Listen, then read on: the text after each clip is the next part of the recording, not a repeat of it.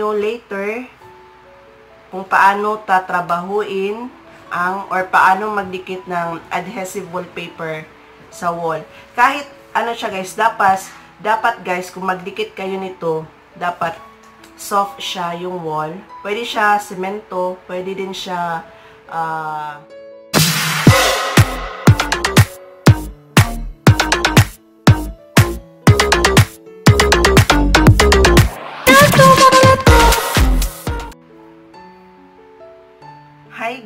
guys! Good morning again! So, welcome back to my channel. So,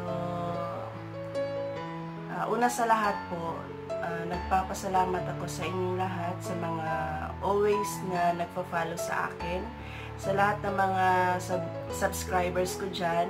Umabot na po tayo ng 2.3 subscribers. So, thank you so much guys. Sana po ipagpatuloy nyo po ang pagpa-follow sa akin. At sana po may matutunan kayo sa mga, may mga natutunan kayo sa mga uploaded videos ko. So, ngayong araw guys, sorry, igang kayo. So, ngayong araw, uh, ipapakita ko sa inyo ang nabili ko na PVC adhesive wallpaper sa Shopee. So, dumating siya mga almost 2 weeks. Medyo matagal siya guys kasi peak season ngayon. Before kasi pag mag ano mag-order ako sa Shopee, mga 1 week lang or 4 days darating na siya. Pero sa ngayon kasi is December so expected talaga na peak season ngayong month na December. So, ang binili ko is, ano guys, uh, adhesive wallpaper. So, ilagay namin siya sa CR, sa comfort room. Tapos, ilagay namin doon siya sa room ng anak ko. So, hindi namin siya nilagyan ng pintura kasi uh, lagyan namin siya ng wallpaper para may may kaboy buhay din yung bahay namin guys kahit maliit siya. So, ipapakita ko sa inyo ang mga na-receive ko na items. So far, wala naman siyang damage. Then, by the way guys, kung gusto nyo mag-purchase online sa Shopee, uh, tingnan nyo muna ang mga reviews bago kayo mag-purchase uh, or mag-buy. Okay. Kasi, once na maraming mga reviews doon, uh, may makikita kayo doon na maraming reviews pero uh, kadalasan merong for example uh, 200 reviews. So ba dapat basahin nyo talaga kasi hindi natin alam kung positive or negative uh, reviews ba yun siya. So ito kasing nabilan ko si Dudley Shop. Binasa ko siya. Marami uh, yung sold niya dito nakasold siya for 2.3k So, binasa, binasa ko siya lahat, yung mga reviews ng mga customer. So, uh, positive naman siya, kaya bumili ako. First time ko bumili kay Dudley Shop, guys. So, so far, wala naman siyang damage. May mga reviews din kay Dudley Shop na may damage. Pero, bihira lang yung mga negative feedback sa kanya.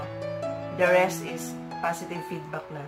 So, ito na design, ilagay namin siya sa CR. Yan. Tatlo lang siya kasi maliit lang man yung CR namin guys. So, ipapakita ko sa inyo later kung paano tatrabahuin ang or paano magdikit ng adhesive wallpaper sa wall. Kahit ano siya guys, dapat dapat guys kung magdikit kayo nito, dapat soft siya yung wall. Pwede siya semento, pwede din siya uh, plywood, plywood pero dapat guys, wala siyang rough kasi mahirap siya pag rough yung wall nyo kasi hindi siya yung didikit yung itong wallpaper. So dapat talaga naka-smooth siya. Uh, pahiran nyo muna siya para maging smooth yung wall nyo. Okay? So itong tatlo, estimated ko lang siya guys sa CR namin kung kakasya siya. Kasi kung hindi siya kakasya, uh, bibili pa ako agad bibili pa ako nito guys. Dagdagan ko siya. Pero kung sobra, mas mabuti. So, ito yung sa CR namin. No damage. Wala siyang damage. ang career nila pala guys, si Dudley Shop is JNT Express. So, sa room naman ng anak ko, medyo malaki kasi ang room ng anak ko. Compare sa room namin. Ano, uh, i-compare namin ang room namin sa anak ko is mas malaki sa. So, ang ginawa na ang ginawa ko is ito siya. Ang gusto kasi ng husband ko is yung astig astig daw na color guys kasi lalaki yung anak ko. So ayaw niya yung mga may pa something effect, flower flower, it just it just na mga girlies design. So again, wala na wala din siyang damage. Yan, makikita niyo siguro. May nabasa din ako na comment doon na ano, may damage sa kanya dito, minsan nakatupi dito. So, before kayo mag-purchase, guys, may nakalagay kasi doon na comment, uh, mag-comment kayo sa seller kung ano yung kung ano yung dapat i-comment nyo. So, ang kinoment ko kasi, guys, is uh, before nyo i-purchase, uh, before nyo i-ship yung item ko, please double check the item kung tama ba yung mga na, na napili ko. Tapos, double check kung kung wala bang mga sira, walang mga damage. Minsan kasi uh, nagsiship si seller guys, wala siyang damage pero si career na, si career na, si courier na ang nagdada na ang ano yan siya, sorry ha. Uh, doon na siya nadadamage guys kasi nakatambak na yun siya lahat. Itsa-itsa na na siya guys. Ita, tinatapon kasi nila yan. Cha, cha, tak. So, kaya madideform yung mga items. Minsan nga, mababasag yung mga items. So, dapat careful talaga sa mga ano. So, once naman kung may mga damage, contact, uh, i-contact nyo agad, nyo agad si seller para mapalitan niya siya. Pero hassle na siya guys pag lalo na may damage yung nabili nyo. Tapos, uh, kinontak nyo si seller. Naku, ang hirap talaga guys. Uh, bali, ikaw pa magpapaship magbabayad ka pa ng shipment hindi na hindi na shoulder ng ano guys hindi na shoulder ng seller yung shipment. Papalitan nila pero ikaw na yung gagasto ng ano, ng shipment. So ito yung kulay. May pagka light blue. Ang measure nito guys is ang roll nito is 10 meters by 45 cm. So ang haba niya is 45 cm lang. Ay yung width 45 cm ito. Pero yung haba niya guys, yung haba niya 10 meters. So malaki siya, mahaba siya. So lima nito, 5. So again, wala siyang damage. Yan. So 5. Bigat.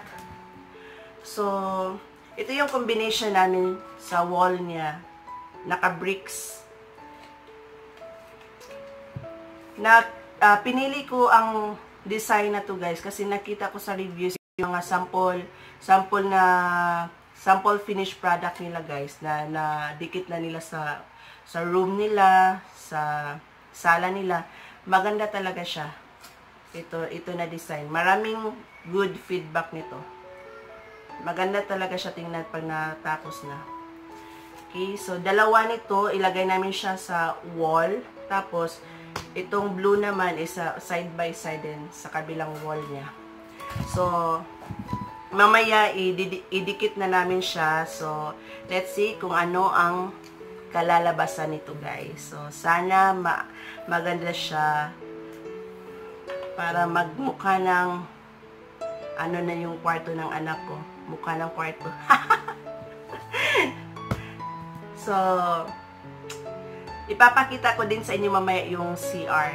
So, as of now, hindi ko pa siya matrabaho kasi magzuzumba pa ako guys. So, later, ipapakita ko sa inyo ang finished product. I-film ko din kung paano siya idikit para makita nyo. Napakadali lang talaga kasi uh, hindi ko siya first time na nakapagdikit ng adhesive paper. Doon sa dating bahay namin, bumili, ako, bumili din ako sa online, sa Shopee, pero hindi kay Dudley Shop.